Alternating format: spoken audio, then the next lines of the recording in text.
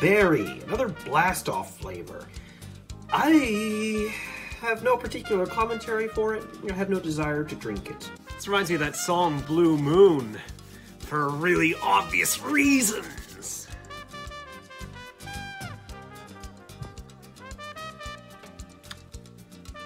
Kind of tastes a little bit like cheese.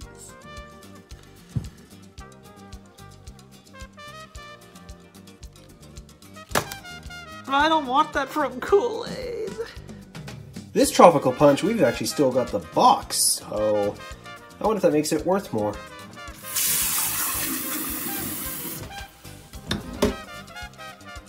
Wait a minute, you're just tropical punch tropical in disguise! This one seems very familiar to me.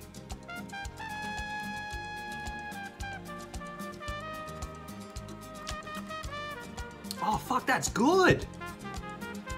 What? That's good! That's good! It's good! It's good! I love it! Holy shit, it's good! Yes! Oh! Oh, that makes me feel so nice! Yes, yes! Oh, oh that has restored my faith. The Great Bluedini! I know you're all excited for this one. I hope it's still powder. Add water to watch the powder color change into Great Bluedini! Trademark! Oh, I see. So it starts off as fucking rancid green and turns into.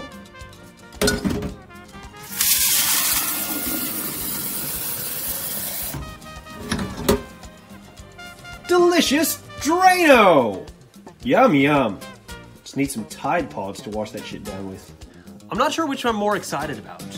Trying out the short lived and banned Kool Aid flavor, or never having to do this again. On second thought, it's the second one, isn't it?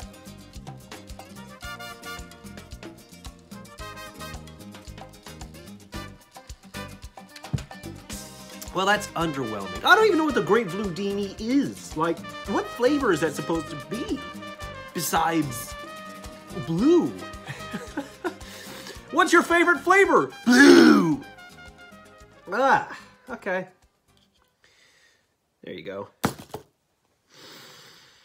Shouldn't have left that one for last.